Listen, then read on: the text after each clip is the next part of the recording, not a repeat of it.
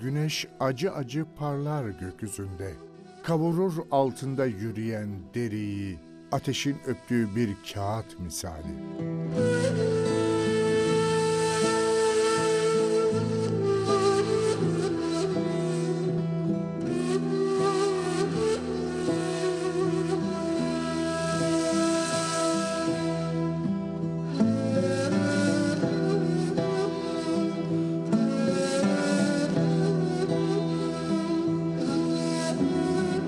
Her tepenin ardında bir başka tepe ve her başka tepenin ardında öncekinin aynı manzarası bekler gezgini.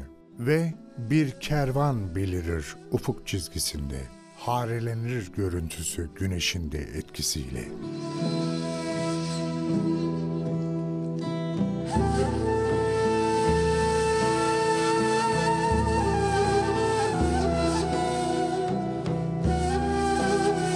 O kervan kim bilir hangi yükü, hangi havadisleri taşır nereden nereye.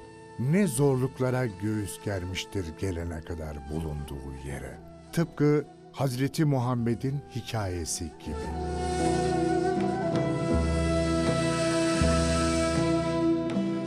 Onun dünyaya gözlerini açtığı mübarek günden, gözlerini yumduğu yürek yakan güne kadar ki hikayesi gibi.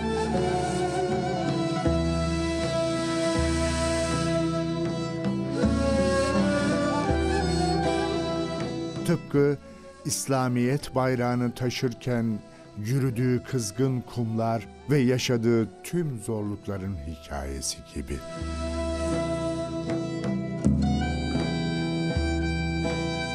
Onun bir kervan yolculuğu misali hikayesi tam olarak doğduğu gün başladı aslında. Kutlu doğum haftası denildi bu yüzden o yolculuğun başladığı zamana. Çünkü sadece gül kokulu peygamber değil, gerçek din uyandı uyuduğu derin uykudan.